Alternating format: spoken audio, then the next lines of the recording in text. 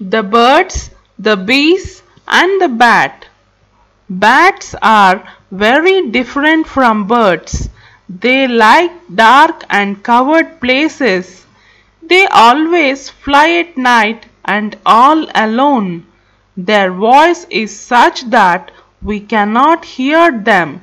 According to an old legend, there is a reason for this different behavior of bats.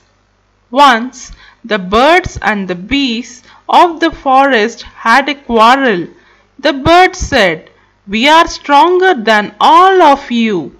The bees said, Certainly not. We are the mightiest of all. Thus the birds and the bees had a war. Among the birds was also the bat. He thought, if the birds are defeated, the bees will drive the birds out of the forest. Then where will I live? Thus, every day before going to the war, the bat watched the birds and the bees to see which side was stronger. Then he went over and fought for the stronger side. A few days later, the birds and the bees stopped fighting. They decided to live together in the forest in peace.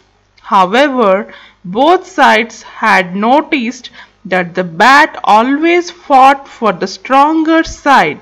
Thus, the bat was punished to live alone in the dark.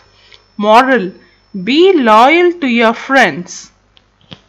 Thanks for watching this video kids. If you like our video, please subscribe to Kids Bedtime Stories channel. Bye bye.